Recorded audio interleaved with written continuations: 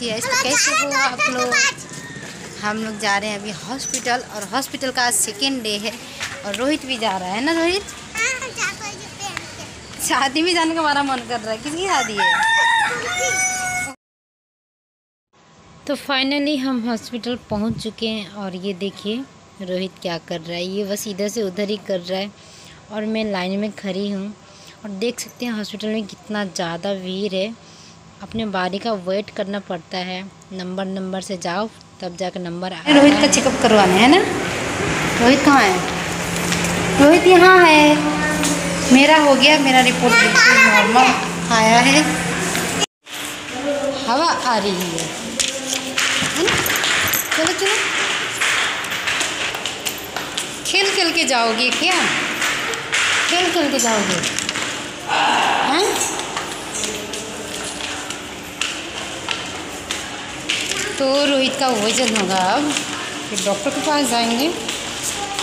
नहीं, इधर इधर चलो, इधर। आओ।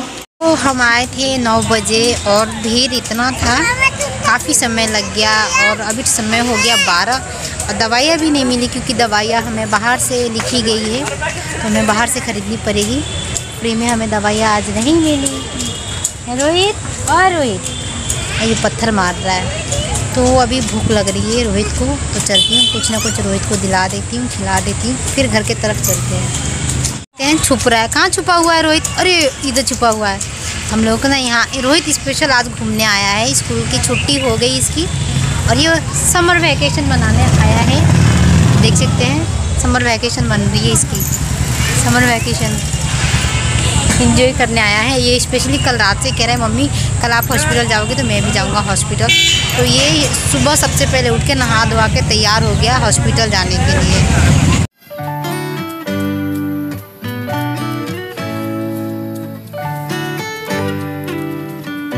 रोहित मेरा, क्या कर रहा है? क्या कर रहा है बेटा? इसको कितना मज़ा आ रहा है, पत्थर फेंकने में। और आज ये झरना बंद है। बंद है तो स्विमिंग पूल की तरह लग रहा है। रोहित, मत फेंको। यहाँ के लोग डांटेंगे। मत फेंको। डांटेंगे तो क्या कर लोगे? बोलो। और आज ये फुहारे बंद है। फुहारे बंद है अच्छा भी नहीं लग रहा है। तो चलते हैं, कुछ खा पी लेते हैं। बहुत ज़ोर से भूख लगी है। क्या हो गया तुमको? चोट लग गई। तो शैतान है कि चलो। चलो, कुछ खा लेते हैं। आ जाओ। चलो। मकई खाओगे। और क्या? अभी बाहर जाके देखते हैं, कुछ मिलता है कि नहीं, कुछ मिलेगा तो थोड़ा सा नाश्ता कर लेते हैं, फिर चलते हैं। घर पे भी आयुष बहुत ज़्यादा परेशान हो रहा होगा। रोहित, मत जाओ, दूर मत जाओ बहुत ज़्यादा परेशान हो रहा होगा। और धूप इतनी तेज़ लग रही है, बारिश भी नहीं हो रही है। बाहर आना जाना मुश्किल हो गया है। हम लोग प्लान किए थे कि जाएँगे कहीं घूमने समर वैकेशन पे बट इस धूप के चलते प्लान कैंसिल हो रहा है। हम आए हैं नान खाने, और रोहित देखिए बैठा हुआ है। हम लोग। नान अभी आ रहा है मैंने ऑर्डर कर दिया है। हाँ? अपने से सो so, अभी हमने खाने का ऑर्डर कर दिया है और आ रहा है। जब तक रोहित ने बोला कि मुझे पानी पीना है बाहर गर्मी भी बहुत तेज़ पड़ रही है और एक बोतल पानी लेके आई थी लेकिन ख़त्म हो गया। ये घर के लिए मैंने लिया है मकई। आयुष भी खाता है और मेरी ननद बांदी लोग भी खाती हैं। तो ये मैंने मकई उनके लिए पैक करवाया है, ये घर पे लेके जाएँगे हम। और हम लोग फ़िलहाल अभी नान का नाश्ता करेंगे, फिर चलेंगे। वैसे मैं आती हूँ तो खाती नहीं हूँ। हाँ ये जंगल है। भाई देखो ये हमारा फाइव स्टार होटल है। है ना? तो यहाँ ज़ोर शोर से भूख लगी है रोहित को और वेट कर रहा है, कब मेरा आएगा, नान कब आएगा और कब आयुष खाएगा? क्योंकि बहुत भूख आ गया है बच्चा ये।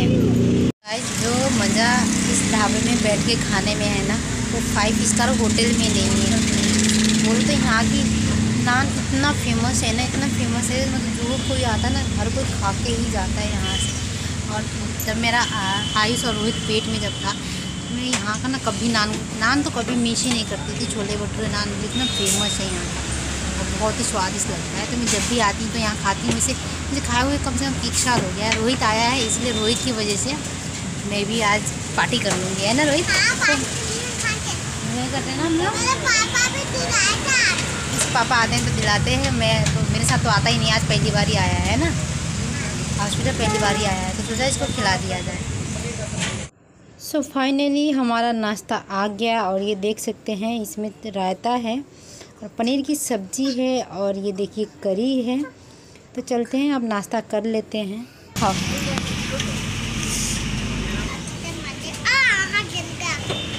हाँ जल गया। हाँ।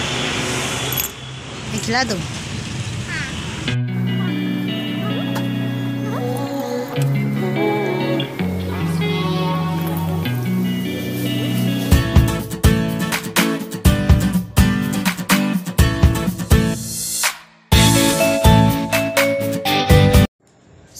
हमने खा पी के, अब हमने रिक्शा ले लिया है, अब घर के तरफ़ जा रहे हैं। आयुष के पापा का फ़ोन आया था कि जल्दी आप लोग आओ, आयुष रो रहा है, क्योंकि वही घर पे हैं, आयुष को रखे हुए। तो फ़िलहाल हम लोग निकल चुके हैं, रिक्शे में हैं। और देखिए, ये रास्ता है।